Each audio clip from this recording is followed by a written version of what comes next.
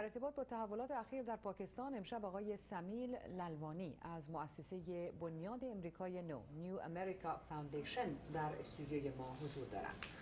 Thank you for being here, Mr. Thank you for having me. مردم پاکستان در رأیی که دادن The Pakistani people in their vote, they voted for two things. One was uh, a rejection of Islamic extremism, and one, the other one was the rejection of a military rule. Do you think that the new coalition government will tackle economic problems, social, political problems in that, in that country? Well, they'll be hard pressed to do so immediately.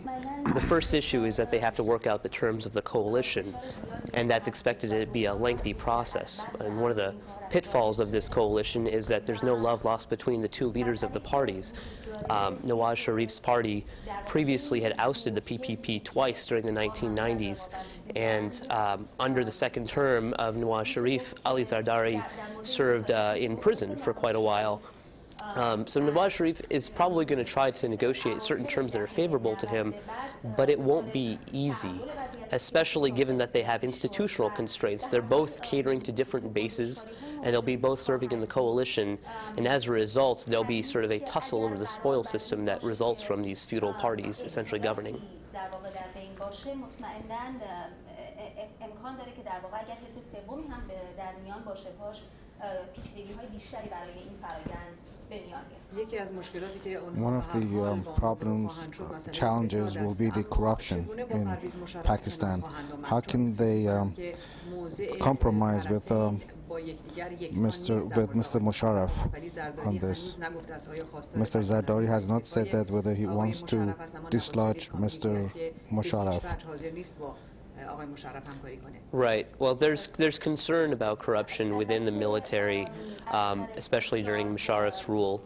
Uh, but it shouldn't be forgotten that there has been rife corruption during the civilian-led uh, governments in, in, the 1990s. Um, in fact, Nawaz Sharif can't serve as prime minister because of the corruption charges, and uh, Zardari is still possibly facing them. So that's a pitfall that they they face as well, especially um, in their decision to reinstate the judiciary. It seems it's um, become a rallying cry for Nawaz Sharif to reinstate the judiciary to pose a challenge to Musharraf.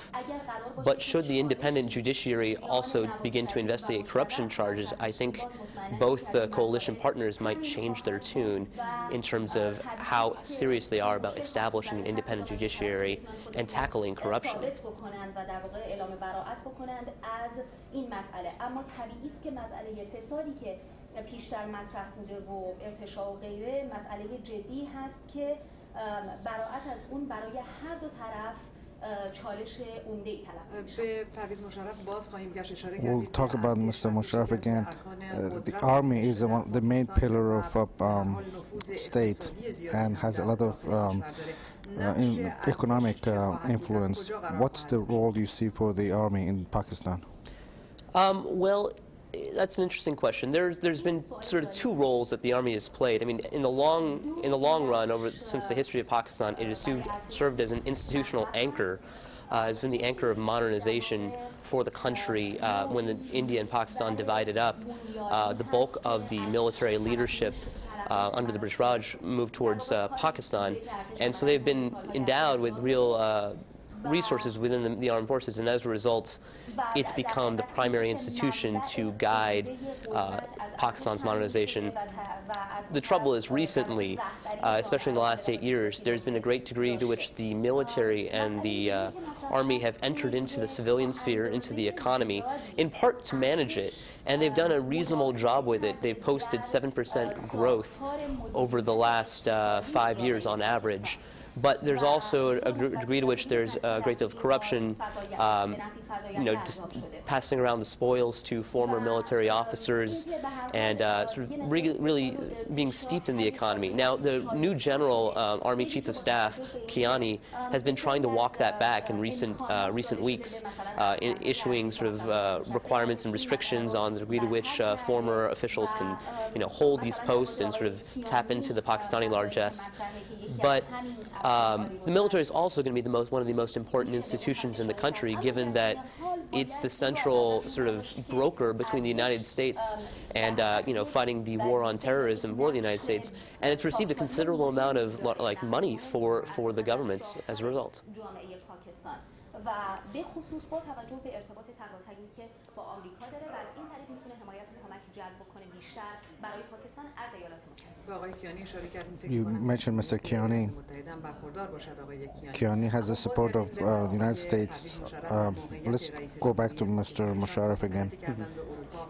He traveled to Europe to uh, gain the pledge of um, the Europeans in, in, combating terrorism.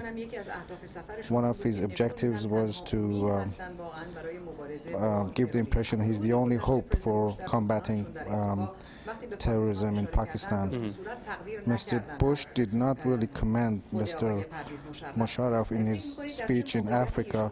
What do you see his position in um, right now? Do you think he's been able to convince his European or uh, Western allies that he's the only hope to combat uh, Islamic terrorism? Well, I think he certainly was able to maintain this myth that with before him or after him, if he's no longer sort of the man in uh, Pakistan for the United States, then the Islamists will take over. I mean, that myth has been punctured by the failure of the Islamists to win any significant votes in this recent election.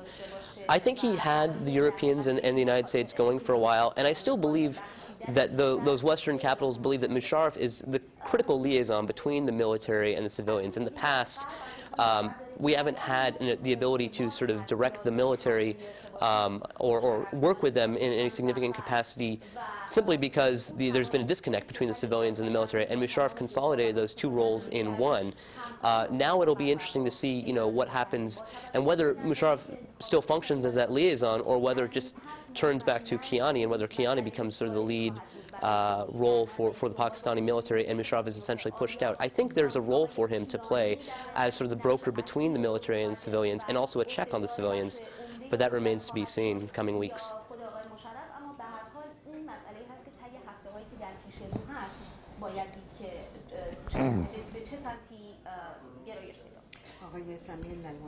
Thank you very Thank much you. for coming.